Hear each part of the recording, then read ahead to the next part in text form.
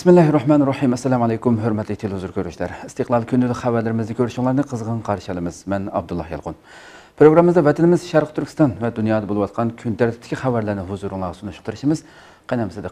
ekranimiz bo'lsin. Pelosi xonimning tayvan ziyorati amalga oshdi.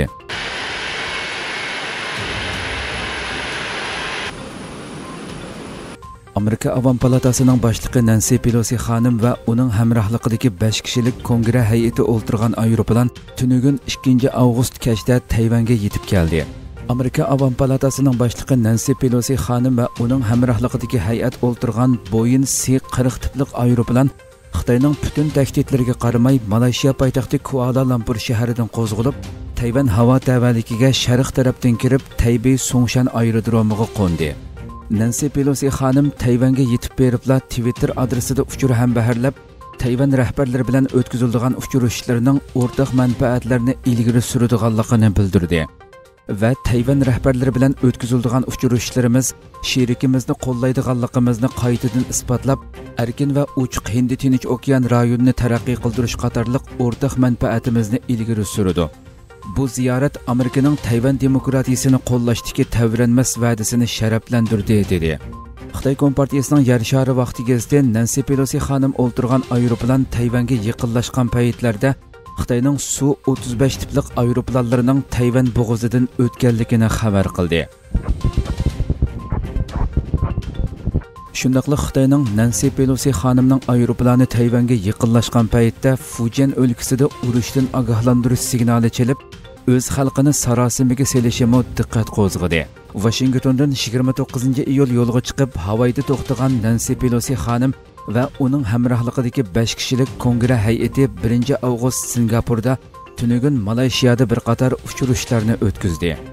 Avam palatasining rasmiy internet betidagi Nansi Pelosi xonimning Hindi Tinch okean rayonini ziyorat qilish programmasiga munosabatlik e'lon qilingan bayonotda Singapur, Malayziya, Janubiy Koreya va Yaponiyani o'z ichiga oladigan ziyorat nuqtalari ichida Tayvanga o'rin berilmagan edi. 82 yoshlik Nansi Pelosi xonimning bu yil aprelda plan qilgan Tayvan ziyorati Xitoy virusi sababidan amaldan qoldirilgan edi.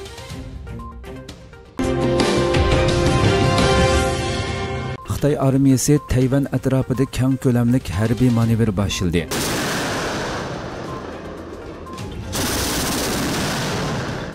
Xitoy armiyasi Amerika Avam palatasi boshlig'i Nansi Pelosining Tayvan ziyoratini boshlashidan keyinla keng ko'lamli harbiy manevr boshladi.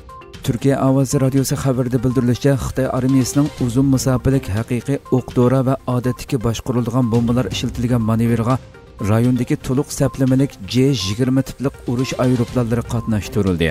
Xinhua agentligi Xitoy armiyasining 4 avgustdan 7 avgustgacha Tayvan atrofidagi 6 o'xshamagan rayonda bir qator harbiy manevrlarni o'tkazadiganligini uqtirdi. Xitoy davlat mudofaa ministrligi bayonotchisi Tan Kafi bayonot berib, Orolning shimoliy, g'arbi, janubiy va sharqi janubida dengiz va havo armiyasi askarlarining ishtirok qilishi bilan o'tkaziladigan birlashma sharq tarafida boshqariladigan bomba siniqi va yiroq masofalik zambilak mashqining elib berildiganligini manevrlarning maqsadining xitoy armiyasining nansi pelosining tayvan ziyoratiga qarshi turish hamda davlatning egilik huquqi va zamin butunligini qat'iy iborat ekanligini bildirdi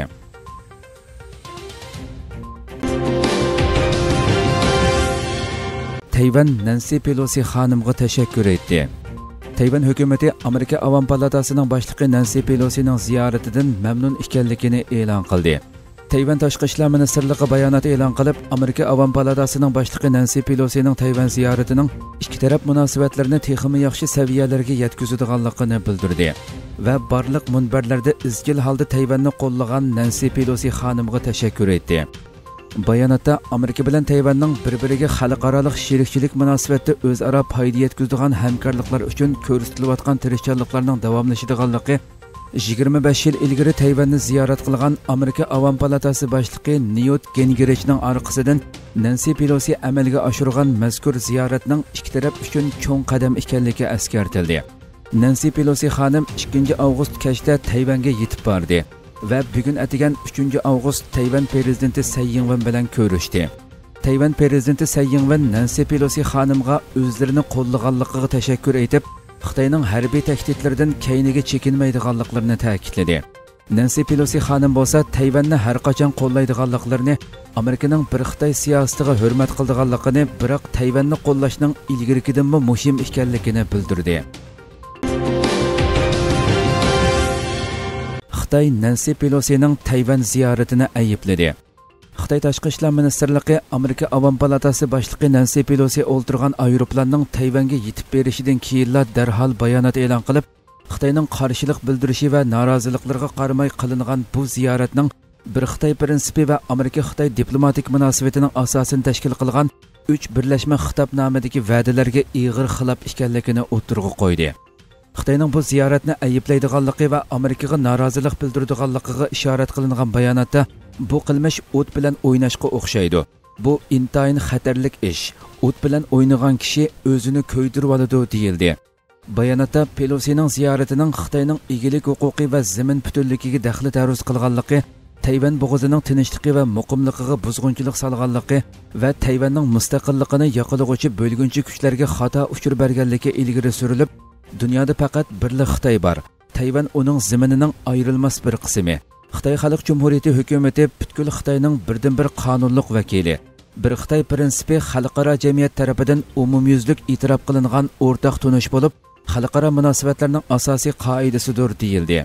Xitoy tashqi ishlar ministri vang yemo nansi pelosining tayvan ziyoratini ayblab xitoyning barliq ogohlantirish va noroziliklarga qaramay elib berilgan bu ziyoratning xitoyning egilik huquqiga yomon g'arazda daxli taruz qilishni maqsad qilgan g'arazlik siyosiy ig'vogarchilik ekanligini ilgari surdi. Bu ziyoratning xitoy xalqining g'azabini qo'zg'alligini ta'kidlagan vang pelusining ziyorati bir qism amerika siyosiy yo'llarining xitoy amerika munosabatida masala paydo qilg'uvchilarga amerikaning bo'lsa tayvan bo'g'izidagi tinchlik va rayon muqimligining eng cho'ng vayron qilg'uvchisiga aylanganligini yana bir qatim dalilladi dedi. U yana bir xitoy prinsipining xalqaro munosabatga yetakchilik qiladigan asosiy qoida hamda ikkinchi dunyo urushidan keyingi xalqaro tartibning asosli omillarining biri ekanligini so'zlarga ilova qildi. Besh davlat armiyasi tayvan jiddiychiligining ko'langisida manevr boshildi Amerika, Hindoneziya, Avstraliya, Yaponiya va Singapur armiyalari Xitoy bilan bo'lgan yirikchiliklarning to'langisida Sumatra oralida tunji qitim boshqa davlatlarning qatnashishi ostida birlashma harbiy manevr boshildi. Türkiye Avazı Radyosu xəbərdə bildirilişə, Amerikanın Jakartadakı elçixanası Amerika və Hindoneziya qatarlıq 5 dövlət armiyalarının Sumatra arıldı birləşmə manevr başlığanlığını elan qıldı. Bayonotda bu qitimqi manevrning erkin va uchuq hindi tinch okean siyosatini qo'llash maqsadida o'zaro moslashishchanlikni iqtidorni o'zaro ishonch va hamkorliklarni kuchaytirish uchun o'tkazilganligi bildirildi.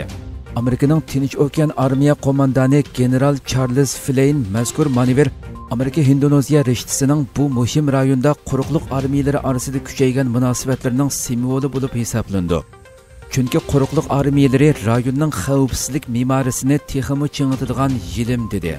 Amerika indoneziya avstraliya yaponiya va singapurdan kelgan besh mingdan ortiq askar qatnashtirilgan manevr 2009 yildan buyongi rayonda o'tkazilgan ko'lami eng cho'ng manevr deb ko'rsatilmoqda.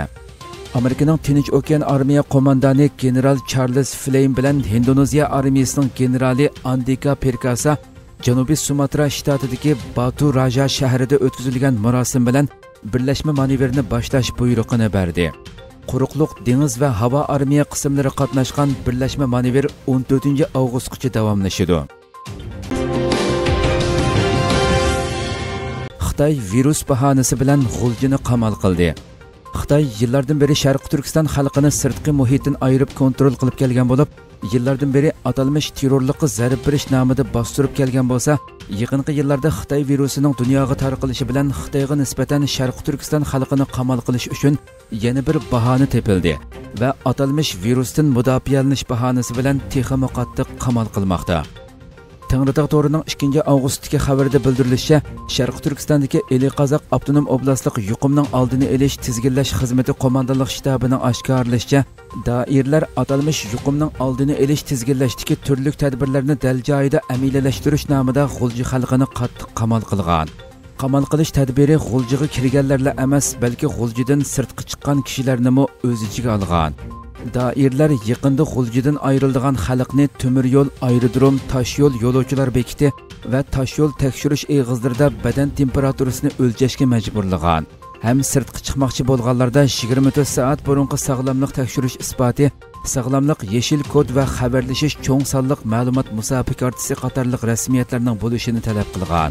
Undan boshqa g'uljidan ayrilganlar bormoqchi bo'lgan manziliga yetib borgandan keyinmi tavallikdagi atalmish yuqumning oldini olish tizginlash bahonasi bilan o'ttirg'i chiqargan qamal qilish tadbirlariga moslashishi kerak ekan.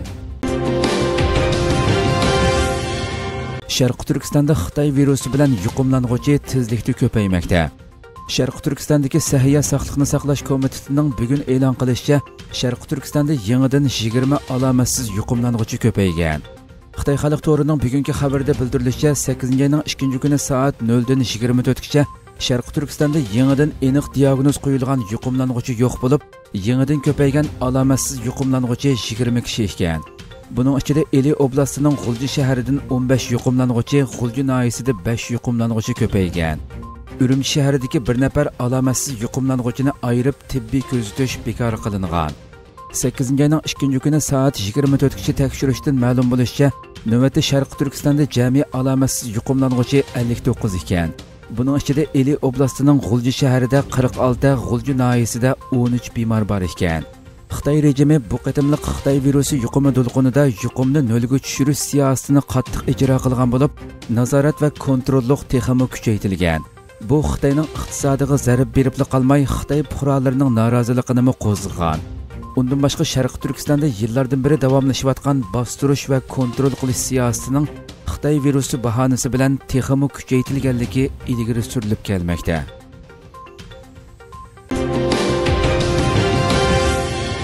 Turkiya o'zbekiston ozarbayjon uch taraf yig'ini o'tkazildi. Turkiya o'zbekiston ozarbayjon tashqi ishlar ministrlari savdo va qatnash ministrlari yig'ini o'zbekiston poytaxti toshkentda boshlandi.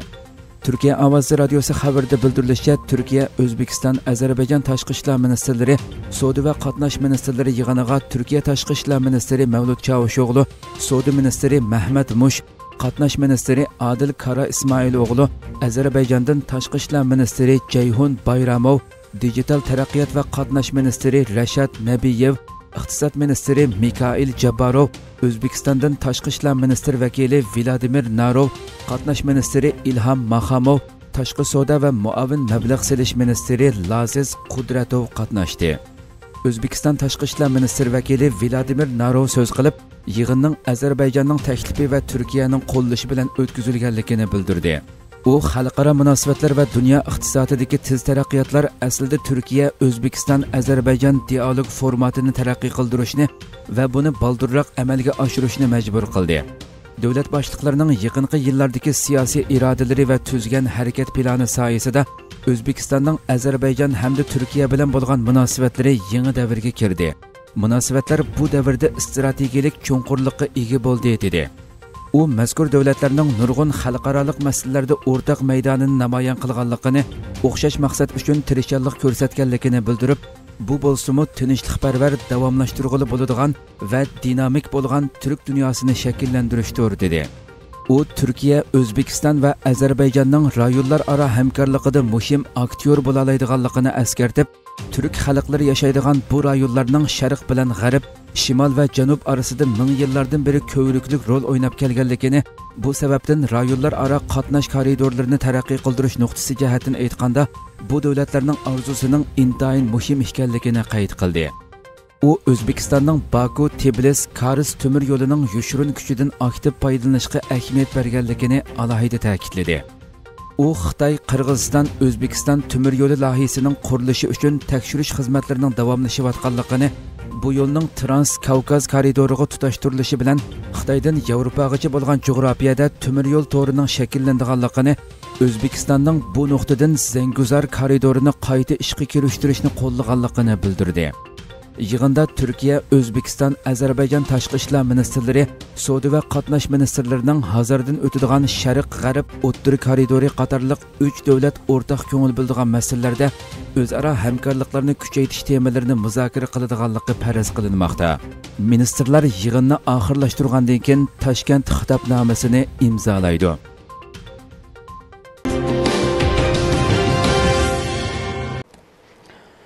Hurmatli televizor ko'ruvchilar shunaqa qilib bugungi xabarlarimiz mushu yerda oxirlashdi. Inshaalloh atigi xabarimizni ko'rishguncha sizlarni janobiy allohga topshiramiz. Shundoqla programma oxirida ekran orqasidagi barliq xizmatdoshlarimga ko'pdan ko'p rahmat aytaman. Assalomu alaykum va rahmatulloh.